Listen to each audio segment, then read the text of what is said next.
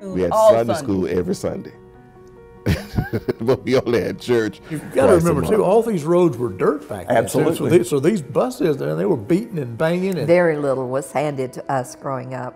No different than if I were Right. to hop on a plane and go to another country and try to experience right. Mm-hmm. experience that. That- That's really all that is, mm-hmm. except it's right here in our mm-hmm. backyard. We had an ice box. See, you were one of them uppity group. you was in the uppity group. You had an ice box. We did. And that's how Lucky Street got its name. And he said, Reverend, you don't know. He said, we, we used to work this land. he said, we used to work this land. He said, everything we are was on this land right here. been blessed to be in this uh, country, in this state, and in this county, which I met so so many good people.